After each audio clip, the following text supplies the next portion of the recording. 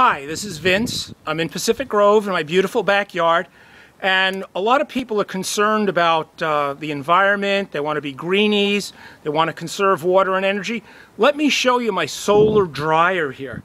I don't have to use my dryer. You know how much electricity I'm saving? Take a look at this. An old-fashioned solar dryer. You know how much this cost me? $2 at the hardware store and a bag of clothespins for $2.95. I've had it for 10 years. How am I doing? Are you happy? Let's go inside and take a look at my water conservation ideas. We don't need any funding. We don't need a grant. We don't need any EIR. You just do it on your own. Check this out.